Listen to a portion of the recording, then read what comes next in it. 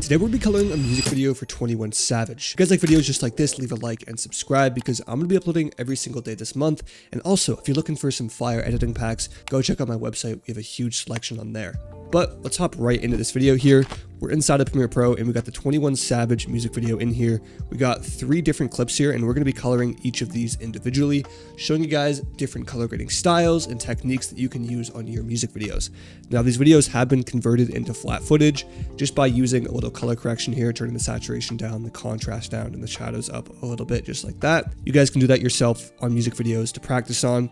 Just copy these settings Anyways, to get started, what we're to do is we're to go into project here, and then we're to right click, go over to new item, and then we're to hit adjustment layer. We're to hit OK right here, and we're going to drag and drop that on top of our footage here, stretch it out, and then we're going to cut it for each individual clip here. Now, we're going to be using the adjustment layer to color on. I like coloring on adjustment layers because you can just turn them on and off super simply, just like this to see the before and after. Now, we're going to go into Lumetri Color here, if you don't have Lumetri Color in a tab and you have to go into effects and search it up every time, what you want to do is go up to window here, go down to Lumetri Color, click on it, and then just drag and drop it in your area of choice. Now we're going to start off in creative right here. Under look, we're going to hit none and then browse. And we're going to be using LUTs to color grade, but don't let that scare you away. There are a ton of free LUTs on the internet that you guys can download, and I guarantee you guys already have LUTs. Literally just go on YouTube and search free LUTs, or if you want to go and check out my LUT pack over on my website, it contains over 285 unique LUTs that are really good. I'm going to be using that to color these videos, but just follow along because all the color correction we do after inside of basic correction,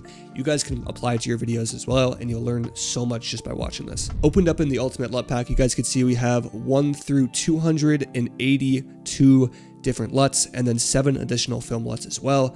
I'm going to go ahead and pick a completely random LUT just to show you guys how fire this is. Uh, I'm going to go for 207 here. And nice, we have this really cool blue aesthetic. Let's expand on that inside of basic correction. Like I said before, this is where all the magic happens. If you want your LUT to be more intense, actually, you can go inside of creative and turn it up or down. Totally up to you guys. I'm going to leave it where it is.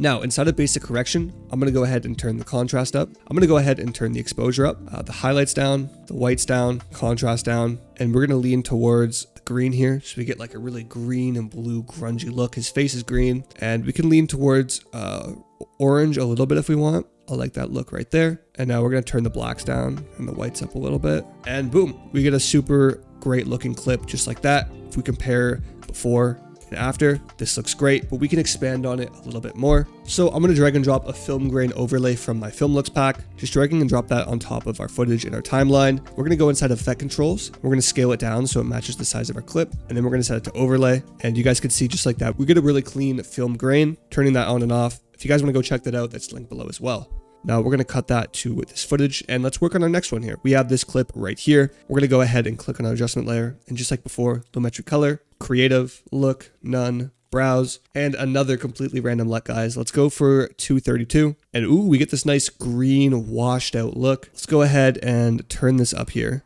really like the way this looks. We can go for a really cool stylized look with this. I'm going to go and turn the oranges up just a little bit here to give his skin some more tone. Let's go and turn the exposure up and then the contrast up just to make it look super grungy. The shadows down and then the whites down a bit and then the blacks can come up a tad. And then boom, we have this really unique look. If we compare before and after, super clean. Love the way this looks. Tell me that isn't crazy. Like, come on, guys. Super easy. And we could put that film grain on if we want as well. I'm a sucker for film grain, but that's up to you guys if you want to do that. We got the before and the after with the film grain. All right, and then moving on to our very last clip here, we have this clip of 21 Savage in the car. Just like before, guys. Creative, look, none, browse, super simple.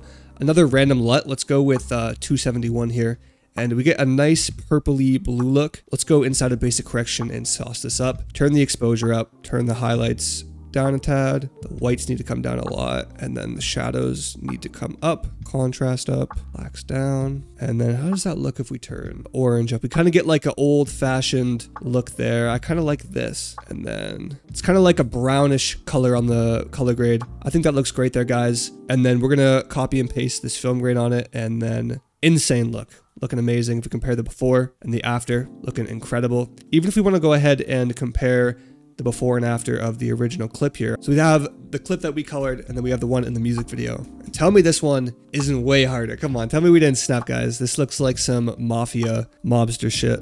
Looks crazy. Anyways, guys, if you enjoyed this video and want to go check out the LUT pack, you guys can download it below. You guys can use code 15 off as well to save yourself $15 off. It takes off 15%, but it, it just works out like that. Anyways, see you guys in the next video tomorrow.